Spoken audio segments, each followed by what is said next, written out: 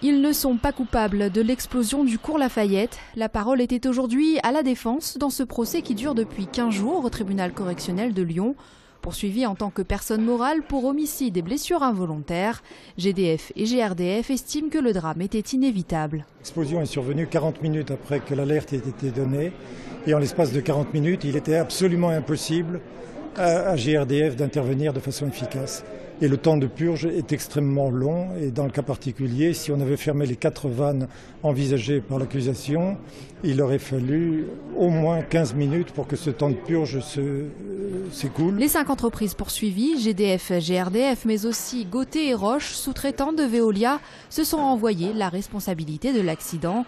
La défense de l'entreprise de distribution d'eau réfute le manquement à l'obligation de sécurité. D'autres entreprises qui interviennent sur les lieux, antérieurement aux travaux qui sont exécutés par la société Roche, euh, qui avait connaissance de ces informations-là, pour les avoir euh, vues, pour avoir vu l'état du sous-sol, n'ont pas jugé opportun, utile de les porter à notre connaissance, alors que c'était un élément pourtant manifestement très important et qui est à l'origine directe du sinistre que nous avons connu.